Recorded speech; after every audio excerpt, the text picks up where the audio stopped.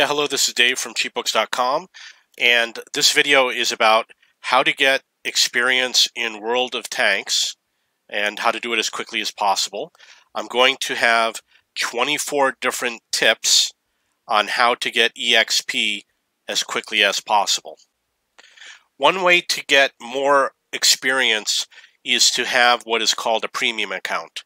And a premium account has different benefits. Uh, two of the major benefits are you get a 50% bonus to experience and you get a 50% bonus to crew experience. And there's a third main uh, benefit, which is you get a bonus to the amount of credits that you earn. Uh, so if you want to do it, you can buy it for one day period of time, uh, which is the option down here at the bottom. It probably costs a couple dollars and then they have three days, seven day, 14 day, 30 day, 90, 180, 360. I'm pretty sure that 360 days is around $100. And sometimes they do offer discounts. I've gotten 360 days for half price. I've gotten it for $50 before. Uh, so this is one way to do it. And uh, obviously, the more time you buy, the more value you get. Another way to earn EXP is to use something that is called a personal reserve. And a personal reserve is a bonus that you receive when playing the game, but it only lasts for a short period of time. They have one hour, two hour, three hour, and four hour personal reserves. Uh, there's different ways to acquire personal reserves. You can earn them by playing the game, which means you'll have some sort of a mission to complete, which might be just to play one battle. Uh, you can buy them, uh, you can earn them in contests, uh, and you can earn them in missions, and they can be given away as prizes, for example, during holiday uh, season. So, for example, over here you can get 10 uh, Battle EXP personal reserves. Uh, you purchase it for 2,000 gold, and it gives you a 100% bonus to your experience for two hours. Uh, basically, what's what that's doing is it's doubling your base EXP. Another way to get more EXP is to play better. If you have better games, you're going to earn more EXP. If you spot more, if you do if you track the enemy tanks more often and if you do more damage, you will get more EXP. There's some things that you do that don't give you a lot of EXP. For example, uh, getting a kill during a game doesn't give you a large EXP bonus. Capping uh, usually doesn't give you a large EXP bonus, uh, but doing damage definitely does. Doing assistance damage, which means tracking damage and spotting damage, definitely does. So as you can see here, I have a tank here, the IS-7. I've played 10 battles. I've get an average of 910 XP per battle, and that's without bonuses. Uh, so if you play well, you'll get more EXP. Every day there is a bonus in the game uh, for your first victory. And that bonus is, is usually a, a double bonus. It's a times two bonus. If you look at your tanks, there's a little icon that says times two, and there's a button over here that says times two that you can turn on and off. Uh, that means you're getting double bonus for your base EXP uh, for your first victory, which means you have to win the battle. So you want to have a good game on your first victory. If you have a bad game and you get a double EXP, it's not going to be a big bonus. Sometimes they have a triple EXP. I've seen four times EXP, and sometimes they have five times EXP. The triple EXP is usually on the weekends. They usually have a five times EXP on holidays such as the 4th of July, Thanksgiving, Christmas, New Year's, etc. Sometimes they do bonuses where you get the two times EXP for every battle, but they might only do that perhaps once a year. There's a, a feature in the game called assistance damage. And what that means is that you're helping your team do damage to other tanks. And one of the ways to do that is to spot an enemy tank or to track it, which is to shoot its track to disable it temporarily. Now, if you do it to a tank that has a lot of hit points, you you have a potential of, of getting a lot of assistance damage. So what you want to do is if you see a tank that has a lot of hit points, when you shoot at it, you can hit the track instead of hitting the tank, which will uh, disable it, maybe leave it vulnerable, and perhaps a lot of your allies will be able to shoot at it, depending on what the situation is where your allies are positioned. And if that happens, you can get a lot of tracking damage really fast. For example, if you're a low tier tank, you can hit uh, a tank that has a lot of hit points, and one of your allies that has a really powerful gun can hit it once with a high amount of damage, and you can get a lot more damage through assistance damage than you can through firing your own gun. In addition, if let's say you can only fire your own gun once every 10 seconds, but if you've got 14 allies on your team, they could potentially be firing every second. So if you track a, an enemy tank for 10 seconds, you could be earning lots of damage over the course of 10 seconds while you're reloading by your allies uh, doing damage to that tank. There's a feature in the game called converting combat experience to free experience. And what's going to happen is over the course of the game, you're going to have tanks uh, such as these on this list that have earned experience but they're only applicable to that tank. And what you can do is transfer that to another tank. In order to do it, you do have to pay.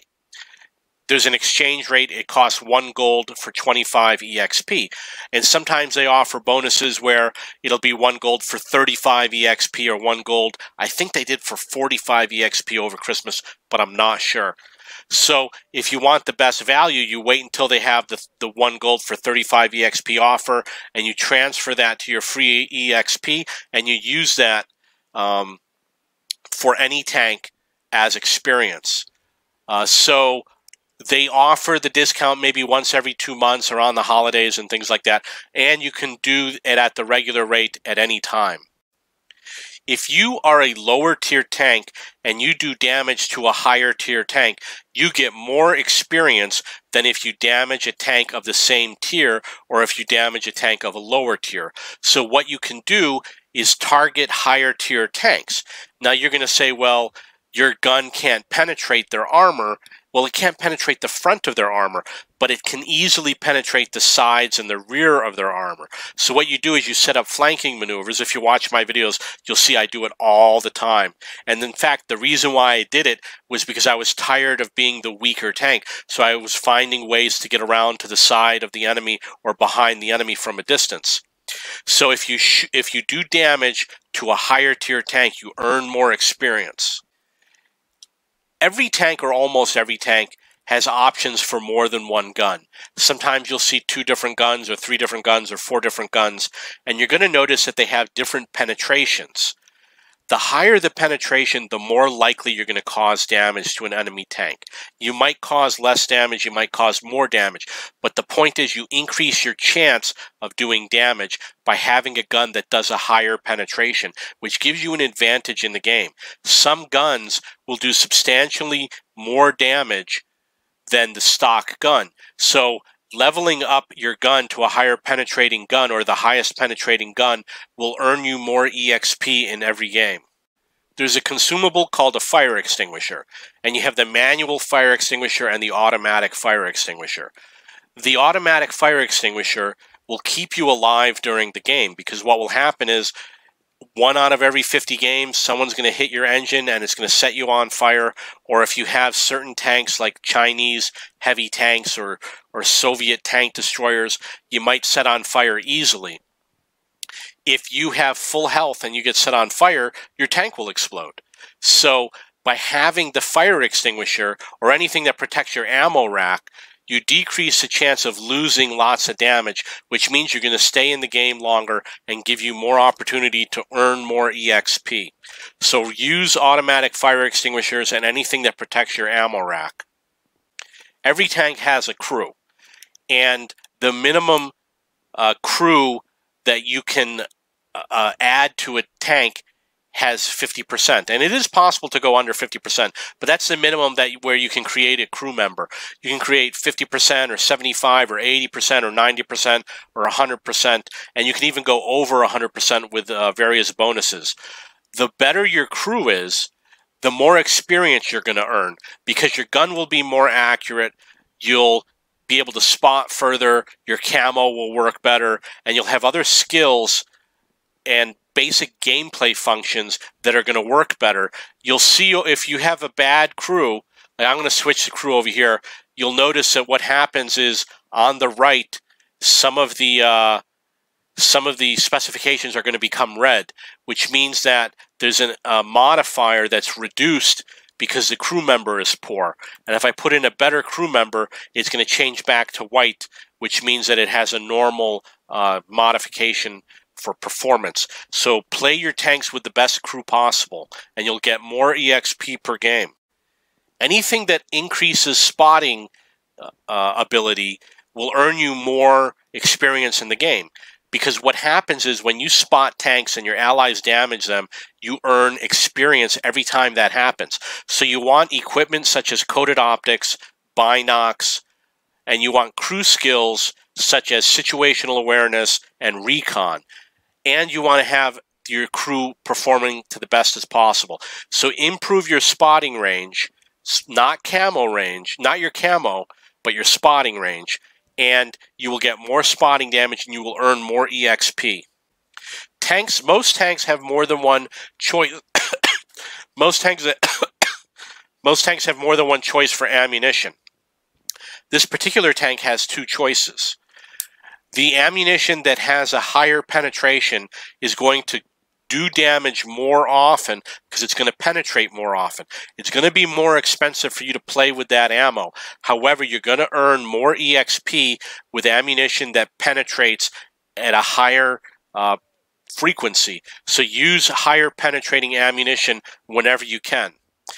In a couple of years ago, they used to do discounts on ammunition. I haven't seen one in like two years. But if you occasionally, it might happen again. If you see a discount on ammunition, buy as much ammunition as you can, uh, premium ammunition for your tank. There's a feature in the game called capping, and what that means is that you capture the enemy base. In general, if you capture the enemy base, you're going to earn less EXP as opposed to killing all the enemy tanks. Uh, and the reason why is because uh, it's it's considered higher skill for the player to damage a tank as opposed to capturing an enemy enemy base. Uh, anybody can capture an enemy base. A tank with one hit point, tier one in a tier 10 game, can capture an enemy base. It's not a high skill uh, maneuver, so you are awarded less hit points for capturing an enemy base or for a game that ends in a draw or a game that ends in a loss. So try to do as much damage as you can. However, make sure you win the game. If you have to cap to win the game, then do so because losing the game will cost you a lot more experience than uh, winning by capping. You want to win the game. There's a bonus which might be 50% depending on um, what game mode you play. There's team battles and and there's grand battle and random battle and frontline. Depending what uh, mode you play, there might be a different calculation uh, for your bonus. So if you're playing in random battles, there's a bonus if you win the game. So you want to avoid losing the game and avoid draws. Make sure you win those games. And if you play frontline, there's an option to move up a level. Uh, they have like lieutenant and captain and general, etc. And if you move up that level, you get a bonus, and the bonuses can become substantial. I believe that the bonus might be a 100% or 200% bonus to your EXP if you become, for example, a general. Uh, so make sure if you play frontline, try those other modes. Uh, if you play a team battle mode, you also might earn a lot of EXP bonuses playing team battles. There's a feature in the game called a mission. And a mission is an activity that you can complete that's usually very simple that will award you some sort of a prize or a reward. Uh, for example, this one is if you damage two vehicles in one game, and you do it with this particular tank, which is a Kranvagn, then you get a 1.3 modifier to your combat experience. So that means that if you get a 1000 EXP with the modifier, it would be 1300 EXP if you complete the mission, which is to damage two vehicles with that particular tank. Uh, there will be some that are missions that are tied to a specific tank. There will be some that are for a class of tank, like it might be light tank week, or there might be other reasons why it might be available to all tanks. So look for those missions. Or another thing that they do is a branch. So the branch that leads up to the Maus might all have some sort of a discount. I'm sorry, a combat modifier. So look for those missions. You want to make sure that your tank is properly equipped, that you have the best crew skills, that you have camo painted on your tank, you use the proper consumables, you use the proper ammunition, and you use the um, consumables that can be purchased using bonds uh, to optimize your tank's performance to make it the best it could possibly be. It will improve your game and earn you more experience. If you want to know how to do all those things, you should probably refer to other videos. There's a feature in the game called a campaign, and a campaign is a series of missions that allow you to earn a free tank. And there's a lot of rewards that you can earn by completing each mission. For example, with this one, you can earn 4,000 free experience and two days of premium time, both of which will increase your experience. That 4,000 free experience you can use on any tank, and the two days of premium you can use as a 50% EXP bonus to all the games that you play. Uh, for example, with this one, you have to do 4,500 spotting damage and you win that prize. And if you go through the different missions, like this one, here's another one with 4,000 free EXP and two day premium time. Here's another one with 4,000 EXP, two day premium time. Here's another one with the same. So you'll find those missions in the campaigns. There's two different types of campaigns. Uh, there's the the first one and the second one, and in both type of campaign, you're going to find that there are rewards that will include uh, experience. Right now, we are in the middle of the Christmas holiday, and there is a Christmas event. And if you play during these types of events, you can earn special bonuses that will earn you more experience. One is that there will be more five times bonuses for your first victory of the day. There will be combat modifiers. For example, you see here it says that there's level rewards, and you come over here and you see that there's all these different rewards, and there's something called a festive atmosphere. And over here it says that there's a discount on that tank. This one has uh, you earn you earn personal reserves for additional experience per battle. But the other thing that happens is I get a 40% bonus to all of my experience in every game because I made it to level 10 on the fe festive atmosphere. And obviously, the other levels, you're going to earn lower bonuses. But what happens is uh, when you uh, win a game, you come over here. I, I don't have any games in play. You look at the details after a game, and you'll see that there's a bonus for the holiday. It's called a holiday ops bonus.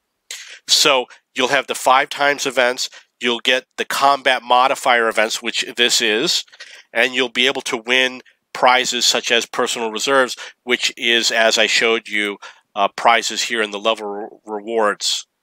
Uh, there's personal reserves as prizes for almost every level. There's another feature in the game that sometimes they make available and sometimes they might not make available where you can invite a new player invite a friend and if he signs up and you play with him you'll get a bonus. I think it's a two times bonus or a 1.5 bonus. And it, it's a sliding scale. So you might not get it for every game and it might be a larger bonus for the first 48 hours or something like that or for the first week or the first 30 days. But if you invite a new player and you play with that person uh, a lot of games, you'll both get bonuses to your EXP. So that's another way that you can get more EXP is by inviting new players to the game. There's a feature in the game called a platoon, and this is the platoon window. You can platoon with up to three players. They would be listed here on the left. My name is listed first. And what you can do is you can platoon with other players. And they used to give bonuses for platoons. I don't know if they're still doing it. You had to play more than one game uh, with a player. They may, may have ended that promotion. But the idea is that you, there was a promotion which may still be ongoing where you get a bonus for platooning with people. But also, if you platoon with people and you watch each other's back and you become friends and you learn each other's playing styles, you're going to increase your survival rate. You're going to have better games. You're going to cooperate with things like spotting damage. You're going to help each other get kills and do more damage. And you're going to have better games and you're going to earn me more EXP simply by platooning with someone. The biggest key to earning EXP is to win. Win games, you get the most EXP. And if you lose games, you get a big cut in your EXP. So, for example, if you have a mediocre game, you might get 700 EXP in a high level tank. But if you lose the game, if you have a mediocre game and win, you might get 700 EXP. But if you have a mediocre game and lose, you might only get 200 EXP. So it's a big difference if you lose a game. And what happens is that's base EXP. So when you have your premium time and the fe festive atmosphere and your personal reserves and the combat bonuses and all the bonuses combined, it's all based on the score you get for having a good game. So you can get I've gotten 10,000 EXP in one game before because I had a really good game with a five times bonus and all sorts of other bonuses. And I've probably had higher games, but 10,000 is pretty common when you get a good game with a good tank with a five times bonus weekend, etc.